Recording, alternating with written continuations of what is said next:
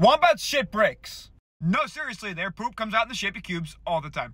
Your average sized New York City rat dumps these dookie dice over 100 times per day. It's like biological Yahtzee. This Australian marsupial's magic anus has mystified scientists for ages. Understandably so, because you might think that ass is doing origami being the fact that he can push squares out of a circle. But there is a reason for it.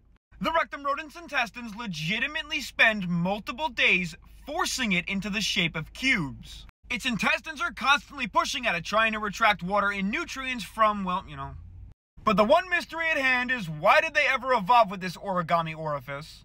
And aside from nutrients consumption, the only other idea is that they often climb up on top of rocks and logs to mark their territory, and square stuff doesn't roll away. Their butt just keeps getting more impressive because it's also their most dangerous weapon. They're nocturnal and during the day they live underground. If they're being chased by a predator, they run in and block off all exits with their asses. And if the dumpy door fails, they can also run as fast as humans.